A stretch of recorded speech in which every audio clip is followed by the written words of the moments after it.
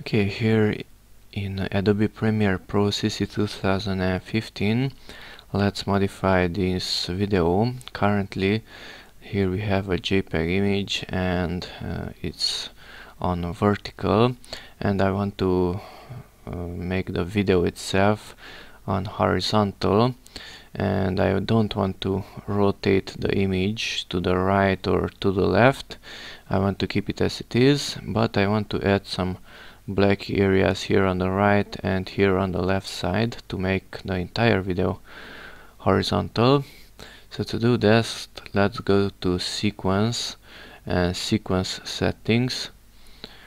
Sequence settings and here we have video frame size a smaller value for the horizontal and a larger value for the vertical size so the horizontal should be larger and currently is smaller and the vertical size which is the height that should be smaller. So let's enter here to horizontal a standard 1920 by 1080 1080 to the vertical and click OK and OK.